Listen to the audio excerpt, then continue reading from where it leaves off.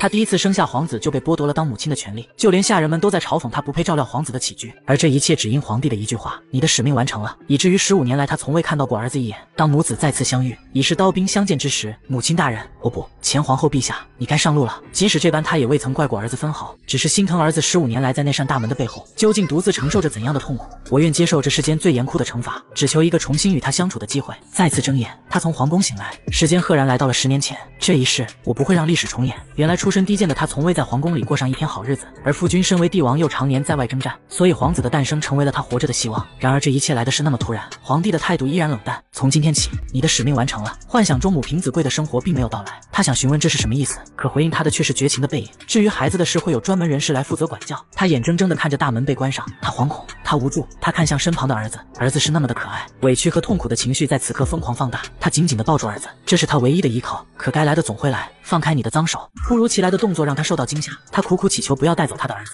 他保证会给儿子一个幸福的未来。就凭你，你不配！为母则刚，他第一次冲撞了长辈。就凭我是孩子的母亲，你只不过是一个为皇家产下后代的工具罢了。刚刚皇帝陛下不也说了吗？你的使命已经结束了。长辈的话让一个刚出生的孩子都感到压抑。就在他准备安慰哭闹的儿子时，孩子被夺走了。绝望是那么的绝望，可他又能怎么办呢？这都是皇帝陛下的命令呢。一旁的下人们见状也开始肆无忌惮嘲讽起来。一个男爵家出身的又怎么可能胜任照料太子殿下的重任呢？原来这一切都是早有预谋吗？渺小的自己又能改变什么呢？自那以后，他从未和儿子见过一面，直到死于儿子的剑下。但是这一世我又怎会让你们得逞？他不顾一切敲响了那扇封闭儿子十五年来的大门。皇后陛下，这不是您该来的地方。这一次他没有退缩，我以皇后的身份命令你，我要见太子。何人敢拦我？尽管侍卫们难以置信，但还是乖乖打开了大门。他进来了。十五年来他第一次进来了。与此同时，一小男孩听见动静，探出头来。母亲大人，他仅仅只呆愣了一秒，就扑向了自己日思夜想的孩子。可小男孩的神情并没有表现出太多的惊喜。他看见了门口口侍卫的窃窃私语，眼神愈发空洞起来。母亲大人，您怎么突然来了？他轻轻抚摸着这个浑身僵硬的儿子，满眼的心疼。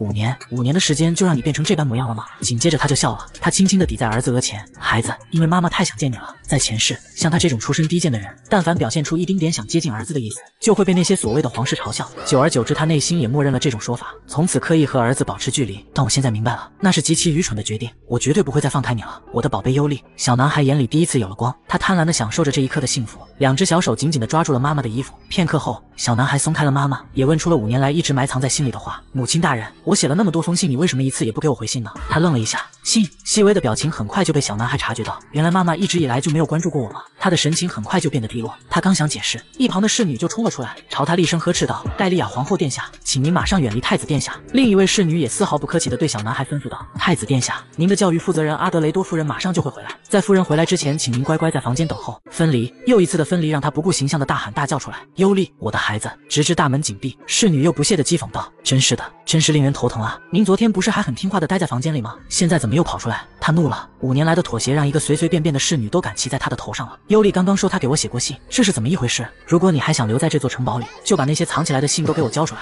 回到房间后，他迫不及待地将那些信拆开。母亲大人，您过得还好吗？我好想见您，我会努力学习。母亲大人，您讨厌我吗？我好孤单，期待您的回信。一滴泪水不争气地掉落在信封上。这孩子原来这么想我。他曾无数次靠近那扇大门，却没有勇气打开。殊不知大门的另一边也同样如此。待他将信封看完后，那名侍女立马诚恳地认错。皇后陛下，这是我的失职，十分抱歉。不过戴丽雅也并没有放过他的打算，期待我不要找出这一切的幕后主使吧，不然我一定会要你们好看。当务之急，他要接手优丽的抚养权，而这一切只有那个男人点头才行。一个告诉他使命结束的男人，一个自那以后再也没有跟他说上一句话的男人，一个让他彻底心碎的男人——伊路瓦利亚帝国的皇帝。不过为了优丽，这一切又算得了什么呢？打扰了。门外的管家仅仅愣了片刻后，便笑脸相迎，请进。这对皇帝陛下来说，他是稀客，许久不见，皇帝陛下，愿伊路瓦利亚之荣光与您同在。皇帝陛下他的冷眸突然变得凝重，对于他的到来，皇帝陛下渴望又厌恶。我听说城堡里发生了点骚动，是的，我正是为此而来。在他诧异的目光中，皇帝陛下竟从办公桌起身来到了沙发，这是皇室给予一位客人最基本的尊重，而这是他第一次被皇帝陛下如此对待。甜点、咖啡，管家倒茶，同样是他嫁入皇室五年来头一次。仅仅呆愣片刻后，他就直奔主题：封锁之门。陛下，您应该知晓吧？可奇怪的是，在他说出这句话后，皇帝陛下竟看向了管家，直至管家微微点头，皇帝陛下才说了声知道。这里面似乎另有隐情，能否请您打开那扇门呢？想要畅通无阻地进入封锁之门，就必须得到教育负责人的许可。不过，要是直接获得陛下的准许，就没有人敢对我指手画脚了吧？想到这，他再次说道：“为了恢复我和尤利的关系，我希望能够打开那扇大门，拜托您了。”然而，皇帝陛下却沉着脸思考着什么。压迫，他再一次感受到了令人窒息的压迫。为了尤利，他将信封摊开。就在刚刚，我发现尤利曾经多次给我写信，而在这五年里，我却连一封信也没收到。这些信不知为何一直被人藏在仓库当中。此话一出，皇帝陛下的脸色也阴沉起来。很显然，有人在暗中阻止。不过这一世的他绝不允许尤利因此受到伤害。而在他没看到的地方，皇帝陛下脸上露出了一抹释然。原来如此，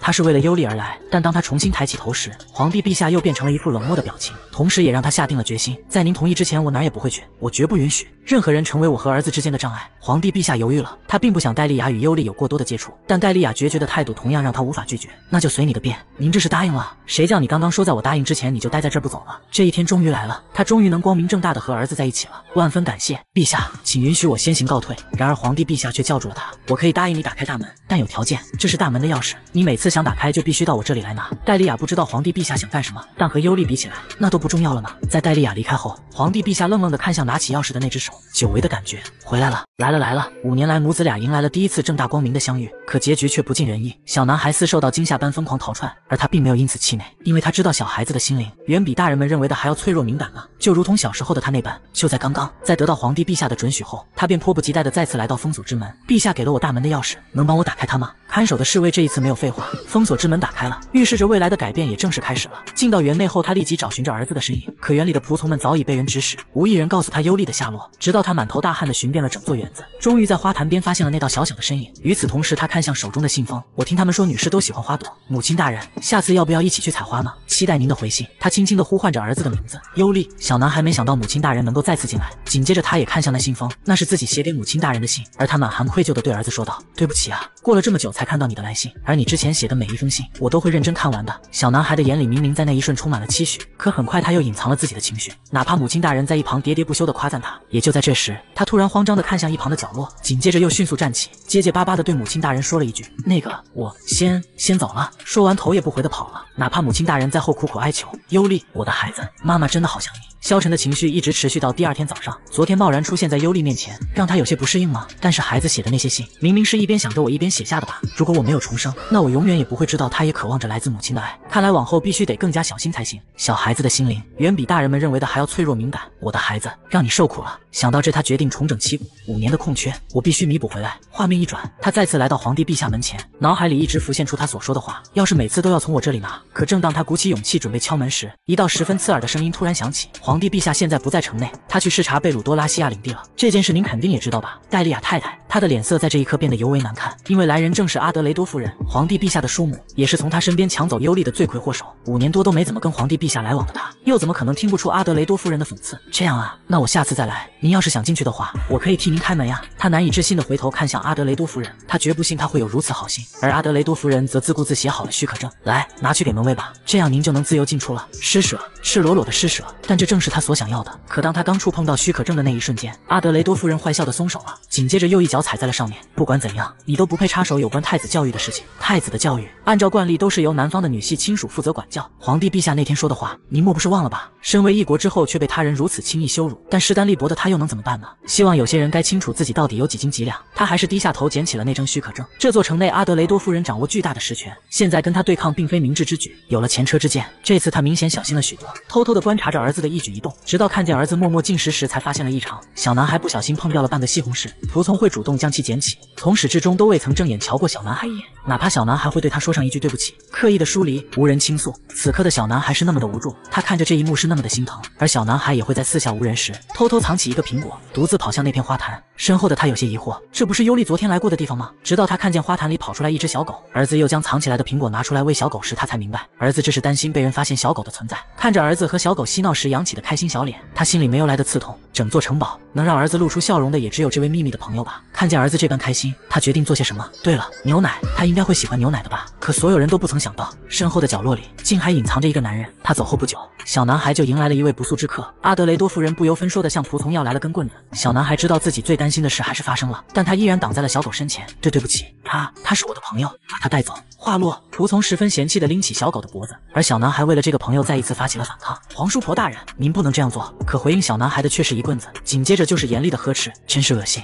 身为太子，竟然敢私自与肮脏的畜生戏耍，真是闻所未闻。我之前也反复强调过，您唯一需要考虑的就是如何为国家做出贡献。接下来您知道的，您需要接受惩罚。来，把手伸出来。害怕、绝望、麻木。小男孩同一时间脸上浮现出了三种表情，他熟练般的卷起自己的衣袖，而阿德雷多夫人见状露出了得意的笑，她阴沉着脸高举手中的棍子，住手！与此同时，另一边，皇帝陛下的队伍正好巡查回来，欢迎回来，皇帝陛下。我走之后，城堡里发生了什么？侍卫一番述说之后，皇帝陛下微微叹了口气，他对自己的叔母越来越失望了，简直是肆意妄为啊！画面回到城堡内，在阿德雷多夫人动手的一瞬间，他及时的护在了儿子身前。阿德雷多夫人，您这是要做什么？戴利亚太太，我刚刚给您的忠告，您不会转眼就忘了吧？说完便向一旁的下人使眼色，因为太子殿下的行为有些奇怪，所以我就跟在他后面。结果发现他在喂养肮脏的野狗，冰冷的话语刺得小男孩浑身发抖。而他知道那只小狗是儿子唯一的朋友，所以你们把那只小狗带到哪里去了？那种肮脏的畜生当然是直接处理掉呀。现在大概在焚烧炉里待着吧。他看着儿子的表情越来越不对劲，立即出声阻止：“您怎能在一个孩子面前说出如此恶毒的话语？住嘴！”阿德雷多夫人那是一点没给这位皇后殿下半分脸面，径直将木棍指在他的面前开喷：“我可是被皇帝陛下亲自委任负责太子教育的人，我当然也要负责清除太子。”周遭的一切不良因素，区区来自男爵家的小丫头片子也敢跟我顶嘴，再这样不识好歹，有你的苦头吃！小男孩不愿母亲大人被这般羞辱，请不要再说下去了。母亲大人，对不起，都是我的错，都是因为我，母亲大人才被骂的。心疼的情绪难以言表。我的孩子，不是的，你没有做错什么。看着儿子不停的抽泣，身为皇后的她真的怒了。没有重生也就算了，重生了还被你这个老妖婆压一头，我就不要活了。不，就是你的错。此时的阿德雷多夫人还在火上浇油。太子殿下，都是因为你愚蠢又伪善的行为，才害死了那条野狗。麻木、希望和绝望反复交替，小男孩被刺痛到麻木，十分抱歉。此时的阿德雷多夫人有多嚣张，待会就死的有多惨，真是令人悲哀。竟然为了区区一条野狗流泪！闭嘴！该悲哀的是你这个老妖婆才对。全场哗然，没人想到这个备受屈辱的皇后殿下有一天会发飙。您不认同我的出身也就算了，但作为这孩子的母亲，我无法继续忍受您对她的无礼。他会为了一只小狗流泪，说明他善。相较之下，您是不是过于在意皇家的名衔，而忘记了生而为人我们应当有的本心呢？他边说边安慰着儿子。还有一件事，有关于尤利一直以来寄给我的信，不知为何直到前几天才送到我手中。而在那之前，先我一步命令下人把信藏在仓库里的幕后主使阿德雷多夫人，就是您吧？真相了。小男孩终于知道母亲大人为什么不给自己回信的真相了。哎呀，您这是说什么呢？他算定了皇后陛下没有证据，便继续嘲笑那些男爵家出身的人呢，就是低贱。话音刚落，他就被皇后陛下一把抓住手臂。真是奇怪，尤利写的所有信上怎么散发着跟您身上相同的香水味呢？阿德雷多夫人一听这话，瞬间做出应激反应。我。我还是头一次受到这么无理的对待。为了掩盖事实，他急忙转移话题。克劳斯皇帝陛下可是我的外甥，要是被他知道了又会怎样呢？这一点他确实没想到。虽然他贵为皇后陛下，但他同样知道自己在皇帝陛下那没有分量。是谁在叫我？突如其来的声音惊住了所有人。在看见来人是皇上陛下后，阿德雷多夫人立马就换了一副嘴脸，那副小人得志的模样真叫人倒胃口。来了来了，皇帝的叔母终于被制裁了。闻讯而来的皇帝二话不说将他处以死刑，哪怕这叔母是他王母仅存的亲属，可皇后陛下并不打算这么轻易放过他。死容易，但我要让你生不如死。就在刚刚，阿德雷多夫人仗着克劳斯皇帝陛下是他外甥，彻底和皇后陛下撕破脸皮。正僵持之际，皇帝陛下闻讯而来。阿德雷多夫人见自己靠山来了，立马换了副嘴脸，向他述说着自己在皇后陛下这遭受到了怎样的屈辱。皇后陛下一脸难看的挡在了儿子身前。在他看来，皇帝陛下让阿德雷多夫人当儿子的教育负责人，那么定然是跟阿德雷多夫人一头的。可令人意想不到的结局来了。正当阿德雷多夫人一脸贱兮兮的看着他时，皇帝阴沉着脸开口了：“放开你的手！”我说：“放开你那肮脏的手，听不见吗？”突如其来的反转让阿德雷多夫人愣愣住了。一同傻眼的还有皇后陛下母子。您您这是什么意思？什么意思？我早就已经叫部下调查过你这家伙了。您您居然称呼我为你这家伙？关于封锁之门的事，在我外出远征期间，你似乎背着我搞了不少小动作，肆意施以鞭打太子，扣押他的书信。你真当我什么都不知道吗？当他说出这话时，阿德雷多夫人彻底慌了。你是我王母仅存的亲属，我本是出于尊重、念及旧情才对你多有容忍，但如今看来这段情分也该到此为止了。根据你的行为，我决定处以你死刑。您您说什么？天塌了！阿德雷多夫人怎么也想不到会是这样的结局，她怕了。皇帝陛下，求求您大发慈悲，请您宽恕我，饶我一命吧。一国之主说出的话犹如泼出去的水，皇帝陛下压根懒得再看他一眼。可就在这时，皇后陛下叫住了他，亵渎皇族是大不敬，身为皇帝，我绝不能容忍此等行径。是的，我明白，但我认为剥夺他手中现有的权利，将其发配至城外更为合适。皇帝陛下本想拒绝，可看到儿子那一脸担忧的脸时，他犹豫了。他知道儿子这是担心自己会为难他母亲大人，还不赶快去谢皇后。说完，头也不回的离开了。阿德雷多夫人一听这话，立马爬到了他的面前。那那个戴利亚皇后陛。陛下，谢谢您的大发慈悲，我阿德雷多将会献上我所有的忠诚。他的眸子在这一刻变得格外冷漠。我不是在替你求情，我这么做都是为了尤利。你如果就这样丧命，尤利一定会认为这都是他的错，把责任都揽在自己身上。调整完情绪后，他转过身来面向阿德雷多夫人，温和的笑容下却说出了最寒冷的话。您知道吗？北方有一个叫做诺兹卡德拉的地方，人称寒冰监狱，让所有罪犯都闻风丧胆。死亡在那里是罪犯们最动听的词。从明天起，收拾一下去诺兹卡德拉修道院吧。最毒妇人心，阿德雷多夫人只感觉这位皇后陛下的手段狠得可怕。话落，他牵起了儿子的手，尤利，我们走吧。小男孩第一次看到有人愿意为他出头，而这个人是他五年未曾见面的母亲大人吗？牵着妈妈的手，也不自主地紧了紧。回到城堡后，他仍然第一时间安慰儿子：“对不起啊，妈妈没能来得及救下小狗。”小男孩知道不是母亲大人的错，可母亲大人为什么要道歉呢？在阿德雷多夫人长达五年的恶棍教育下，小男孩养成了一旦有事发生，那就是自己做的不够好，都是自己的错。一声突如其来的汪汪声让两人彻底愣住了。莫非打扰了？我来给尤利殿下送一样东西。是的，那只小狗还活着。露露，真的是露露。鉴于阿德雷多夫人最近的行为有些失控，我被指派负责暗地监视她的一举一动，因此也得以救下了这条小生命。同时，我也带了一条皇帝陛下的口信，太子殿下若是有意愿收养她，可以将她饲养在城内了。闻言，他也替儿子开心，儿子这位秘密朋友往后再也不用藏起来了呢。皇后陛下，我叫约翰，此次被任命为伊路瓦利亚帝国第五部队的上校，今后还请多多指教。他认识约翰，也知道约翰并不像表面上那般简单，说他是皇帝陛下的左膀右臂也不为过。上一世，所有人都不把他放在眼里，唯有约翰会特意前来向他致敬。想到这，他决定让约翰帮个小忙。别看约翰现在笑得这么开心，等会哭的就有多难看。因为这个忙是让约翰跟皇帝陛下说，让他把后宫的实权交给他。可约翰知道这根本就不可能，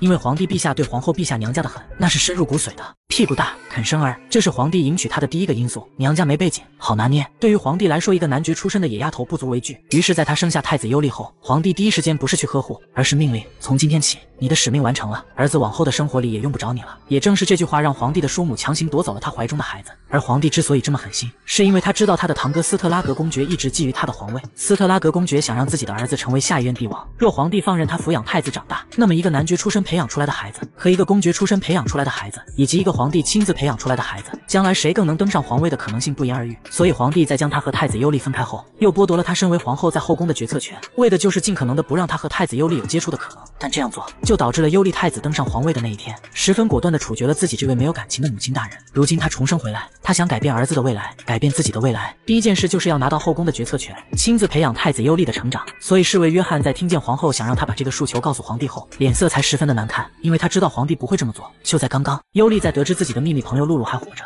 显得十分的开心。可看到侍女们给露露洗澡时，他又十分为难。他也想给露露洗澡，但他不敢。在阿德雷多夫人长达五年的棍棒教育下，让尤利的思想早已固化，觉得自己身为高贵的太子应该不屑于做这种下等的事。然而这一切都被他看在眼里。他知道想改变儿子的想法不是一朝一夕，所以他决定亲自给儿子做个示范。撸起袖子就准备给露露洗澡，可却遭到了侍女的反对。怎么敢劳烦皇后陛下亲自动手？这位侍女的态度和之前的态度有着明显的变化。难道是因为阿德雷多夫人倒台的原因吗？既然得到了反省，那就不为难他们了。没关系。他可是尤利最重要的朋友呀！见自己已经迈出了这一步，他就招呼起了儿子。尤利要不要来一起洗啊？露露可是十分期待你能给她洗澡呢。那蠢萌的模样果然感染到了尤利，他迈着欢快的步伐跑了过去，而这正是他想看到的。随着给露露冲完最后一道水，他们惊奇的发现，原来露露本身竟然这么可爱。让尤利成为一个有感情的人是他的第一步，很显然他做到了。不远处，约翰正在给皇帝陛下汇报工作。陛下，那条狗之前可真是脏呀，洗干净之后仿佛变了条狗似的，是吗？皇帝不以为然。不过如果不是陛下命令我去监视阿德雷多夫人的话，那条狗可能早就尸骨无存了吧？真想让陛下也欣赏一下从女仆手中救出小狗的超级英雄约翰。别蹬鼻子上脸。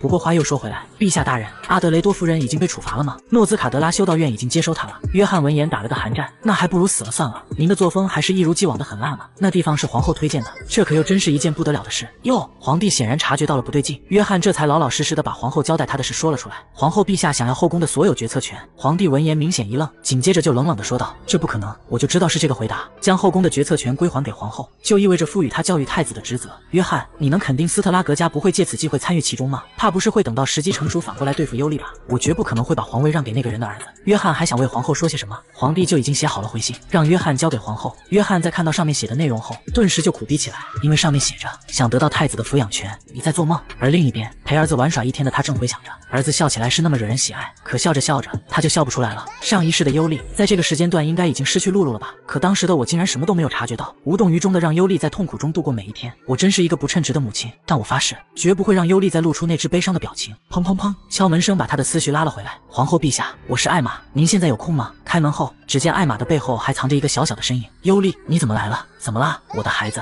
母亲大人，我有话想说。